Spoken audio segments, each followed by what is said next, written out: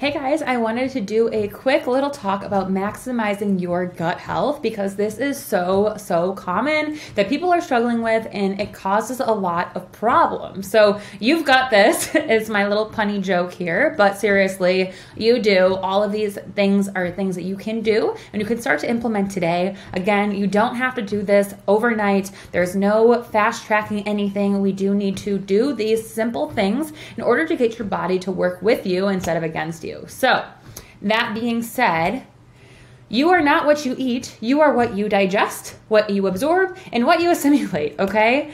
If your gut is not happy, your body will not be happy either. I said what I said. There's nothing that you can do about it. But if you want to be your best, you need to make your gut health a priority. So, why focus on the gut?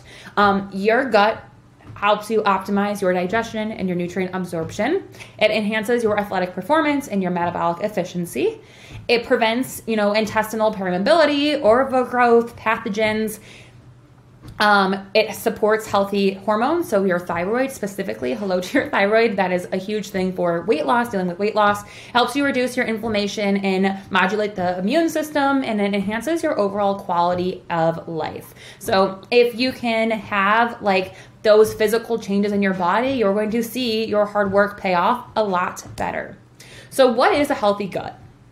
Basically, you know, if you have a healthy gut, if you're able to digest your food without pain, gas, or excessive bloating, when you can absorb and utilize all the different foods that you eat, and your intestinal lining, your bacterial composition, your digestive capacity, gut motility, gut vagal tone, all of that. So, like a healthier gut equals healthier you. So, what are some signs of a healthy gut? So, one is a normal bowel movement. So, what is a normal bowel movement? You want to think about, I know it sounds so silly, but I literally talk about poop all day, every day. But you want to have a bowel movement every single day. It's going to be brown. It's going to be about the size of like your thumb to your finger. That's how big it should be. It shouldn't float. It should be brown. Like it should be one full regular poop, okay? Um, you can look up photos if you'd like to see. I didn't put one in here to spare your eyes, but that is literally what it should look like when you have optimized sleep, energy, training performance, and recovery. Your gut is really good. When you have a healthy mindset and a psychological well being, your hair is good, your skin, your nails, your hormones are on point. You don't have any nausea, any reflux, any heartburn, or bad gas good cognition, healthy libido. All of those are signs of a healthy gut. So, what is normal bloating? Bloating is normal um, to an extent. After you eat, like you first wake up in the morning, you're gonna have the most flat tummy ever. But after you eat a little bit, you should have a little bit of distension here in your gut, and that is completely normal. But again, if it's like you look like you're pregnant all of a sudden, or it grows like a crazy amount and you're in pain, that's not normal bloating. So there's a lot of different diseases that are linked to your gut issue. So like IBD, IBS, diabetes, PCOS, infertility, sex hormone imbalances, hypothyroidism, skin conditions, brain fog, fatigue, anxiety, depression, ADHD, OCD, UTIs, cancer, like all of those different things, those are typically stemming from gut issues. So if you're dealing with any of those or you have any of those, the gut is a really good place to start. So, top causes of gut issues um, in athletes or people who come to me like wanting to shape their physique. Um, one would be stress, internal and external stress. Stressors are huge. Your diet, obviously, we got to talk about that. Your hormones, toxins, antibiotic use, medications, birth control is huge, laxative, antacids, antidepressants, all of those. But most of the time, again, I see lack of food diversity, overtraining or overdoing it with a HIIT classes, a group classes, those types of things. Um, chronic stress, or if you're like a bodybuilder, you can get a lot time from prep and the different foods that you eat with that. So, biggest issues that I'm seeing is leaky gut, lack of digestive capacity, overgrowths and pathogens, so SIBO, H. pylori, candida parasites, or just overall your diet. So the goal is to prevent your gut issues so that you don't have to fix them because a lot of time people don't even think about their gut until they're having these issues.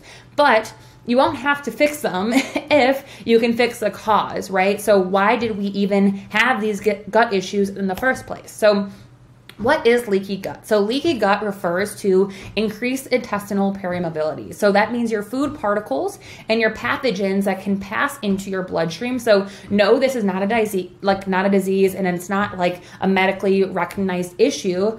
However, leaky gut doesn't just stay in the gut okay so there's a whole bunch of different things that it affects so like from your diet your stress infections dysbiosis alcohol inflammation um, if you have low stomach acid, you have environmental toxins, if you have new, uh, nutritional insufficiencies, medication, malabsorption, all of those different types of things. So, tips to improve your digestive health would be you want to include a diet that's in variety and good quality whole real foods, okay? Staying hydrated as much as you possibly can, drinking a lot of water, focus on how you are eating that is really important. So, like, are you chewing your food all the way? Are you just scarfing your shit down? That's not going to be good for you. Um, fasting is also a really good point to bring up here. If you are dealing with gut issues, not the best idea to fast. Hormonal issues, not the best issue to fast. I know intermittent fasting is huge for weight loss, but if you are dealing with digestive issues, fasting is not going to be your best bet when it's like a long period of time really when you're dealing with gut issues you want to focus on having smaller meals that your body is able to like digest and absorb fully before placing another meal onto it. So if you're eating like a six or seven hundred calorie meal 800000 calorie meal your body has not fully digested and absorbed it by the time that the next time you're going in and eating another really large meal like that just a couple of hours later. So you need to give your body time to digest and absorb the food. And again if you're able to eat foods that are high in fiber and protein, right, you want to look at your plate. You want to eat your protein first and your fiber, and then you want to eat the carb to kind of slow down that insulin spike. So that's going to help you support your digestive capacity. Um, training wise, we can't be training super heavy while we're trying to fix your gut health. So anything that is like rest periods that are super short, stuff back to back, like anything that's causing stress, that needs to be changes. Again, prioritizing stress reduction is so, so big when you are dealing with your stress. Reducing your toxins in your environment in your body um, that's also a really big thing. I have a whole bunch of resources on toxins.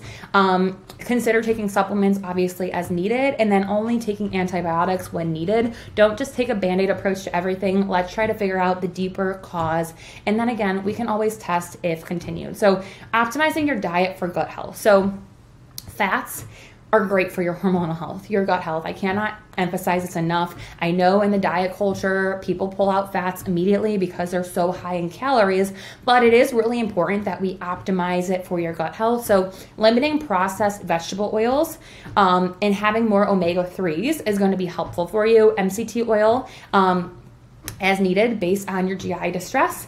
And then having more whole natural oils um, and nuts and seeds is going to be a great source for you to get your fats in.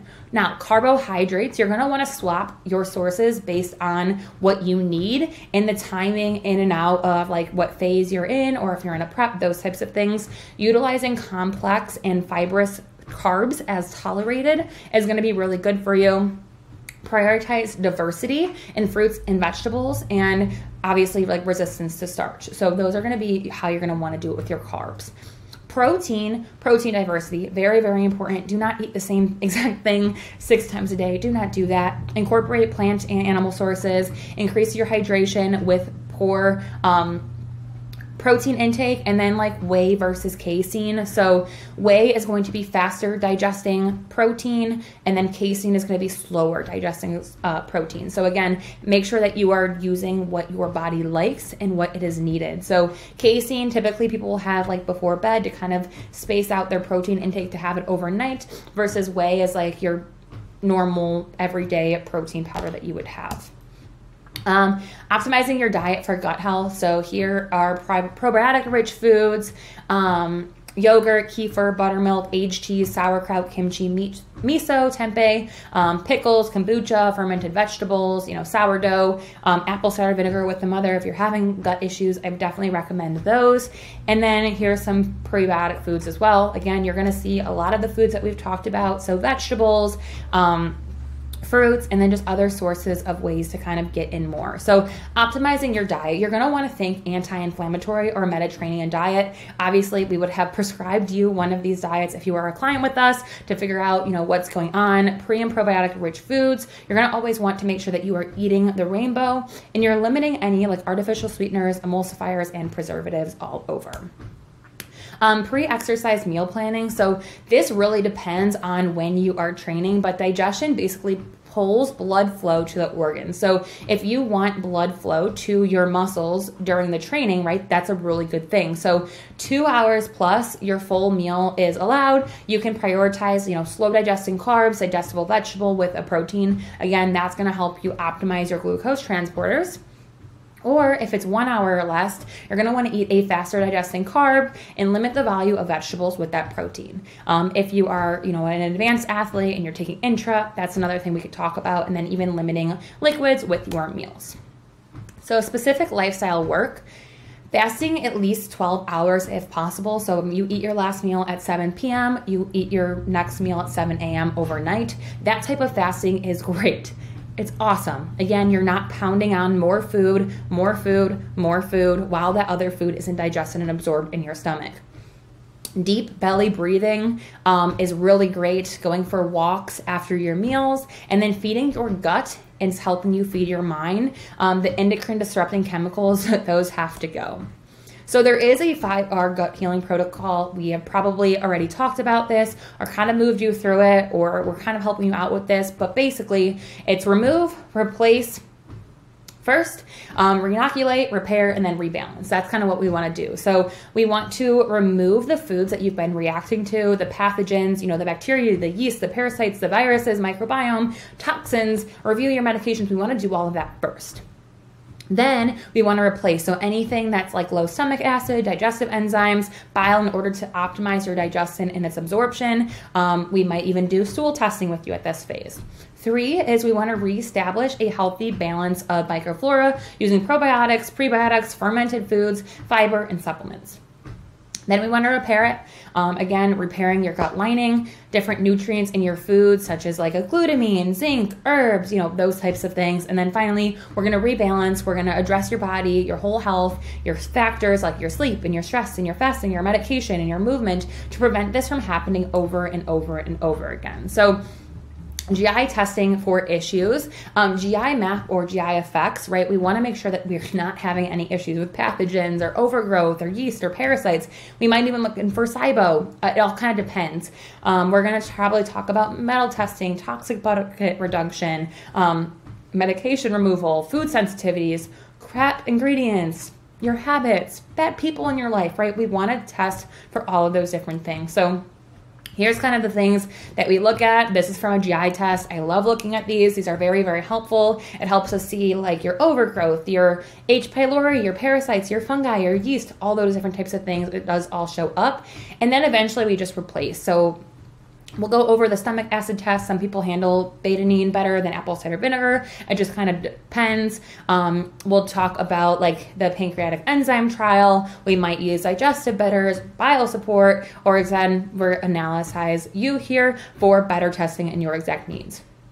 After that, again, we're going to add in those probiotics, those prebiotics as needed. If we add these in too soon, it can make things worse.